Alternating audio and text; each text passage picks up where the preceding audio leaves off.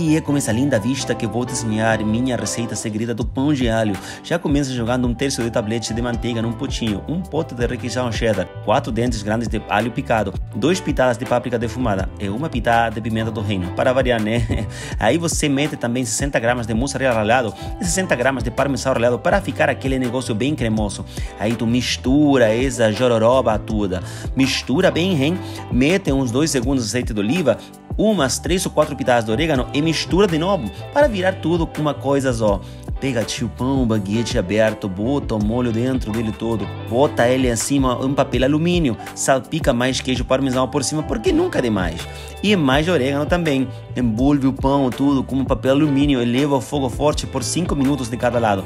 No final sai essa belezura aí que qualquer um que come se apaixona. Curtiu? Deixa o like e siga para outras receitas.